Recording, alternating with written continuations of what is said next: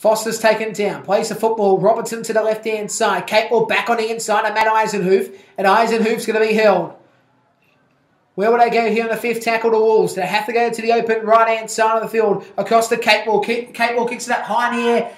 Who will mark it's the question? Well, it's marked here by Nathan Smith. Throws the ball at the back. Away in the hands here. Kira Moss. He gets a ball across the cut Cartwright. Cartwright needs to get the ball. Backdoor pass across to Where's Naguama? Where's Naguama? Cuts back on the inside. Naguama gets the ball away to Ayub. Ayub turns it to the left hand side of Taylor Khalifi. He needs to get the ball away. Lovely ball across in their hands there. On Daniel to The ball steps back on the inside. Tries to the Windsor Wolves.